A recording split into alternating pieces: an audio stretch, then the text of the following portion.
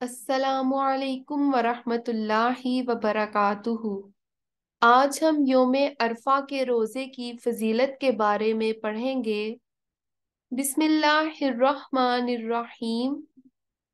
حضرت ابو قطادہ رضی اللہ تعالی عنہ سے روایت ہے کہ رسول اللہ صلی اللہ علیہ وآلہ وسلم نے ارشاد فرمایا، مجھے اللہ تعالی سے امید ہے کہ یوم عرفہ کا روزہ پچھلے ایک سال اور آنے والے ایک سال کے گناہوں کا کفارہ ہے۔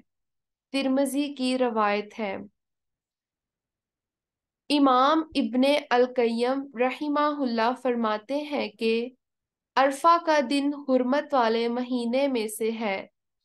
اس سے پہلے بھی حرمت والا مہینہ ہے اور اس کے بعد بھی۔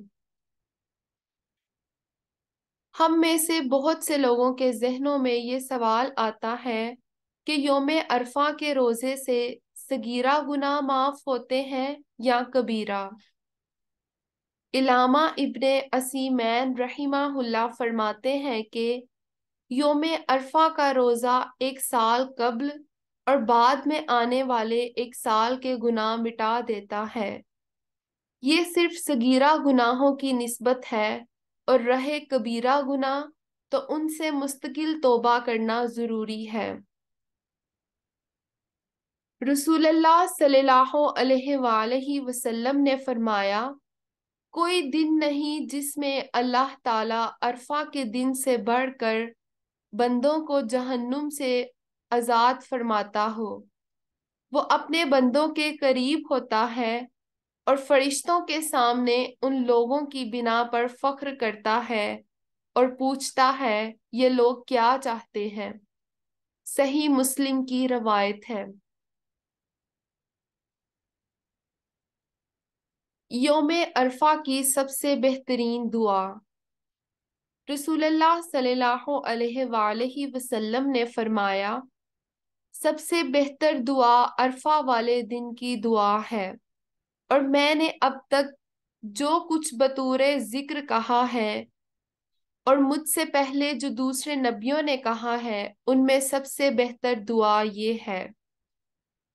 لا الہ الا اللہ وحدہ لا شریک لہ، لاہ الملک ولاہ الحمد وهو على كل شيء قدیر۔ ترجمہ اللہ واحد کے سوا کوئی معبود برحق نہیں ہے۔ اس کا کوئی شریک نہیں۔ اس کے لیے ساری کائنات کی بادشاہت ہے۔ اسی کے لیے ساری تعریفیں ہیں اور وہ ہر شے پر قادر ہے۔ سنن ترمزی کی روایت ہے۔ حافظ ابن رجب رحمہ اللہ فرماتے ہیں کہ پس تحقیق یہ ہے کہ کلمہ توحید سے غلام آزاد کرنے کا ثواب لازم ہو جاتا ہے اور غلام آزاد سے کرنے سے جہنم کی آگ سے آزادی لازم ہو جاتی ہے۔ اس دعا کی عظمت کی وجہ یہ ہے کہ اس میں توحید کا بیان ہے اور اللہ سبحانہ و تعالی کو توحید سے بہت زیادہ محبت ہے اور شرک سے انتہائی نفرت ہے۔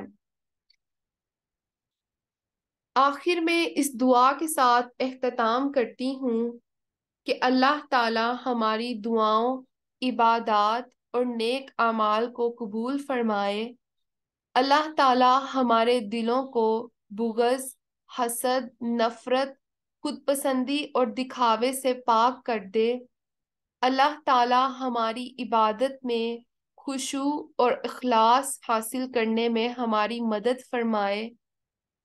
اللہ تعالی ہمیں قیامت کے دن اپنے عرش کا سایہ نصیب فرمائے اور داہیں ہاتھ میں ہمارے نامہ اعمال تھمائے۔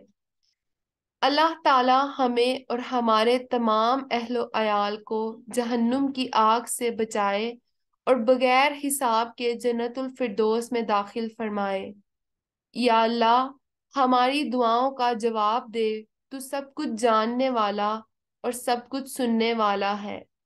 آمين يا رب العالمين سبحان ربك رب العزة أما يصفون وسلام على المرسلين والحمد لله رب العالمين السلام عليكم ورحمة الله وبركاته